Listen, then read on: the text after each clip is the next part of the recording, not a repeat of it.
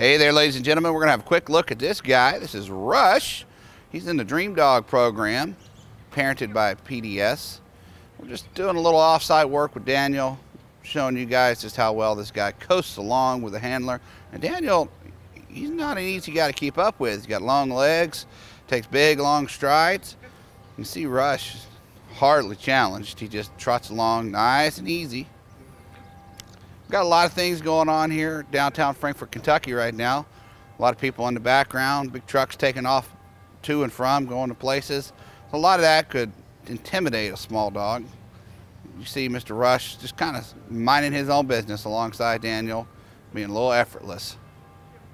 How cute is that?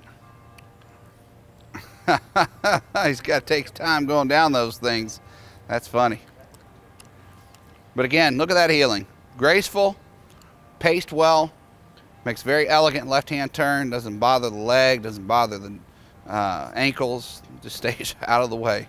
Had to change myself. Normally I say knees because we're working with adult working line dogs. very nice.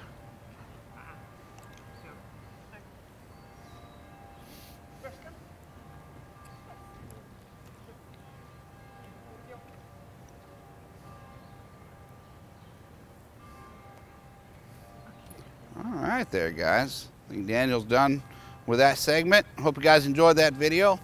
You can inquire more about dogs like Rush through our Protection Dog Sales website for now. Hope you guys enjoyed.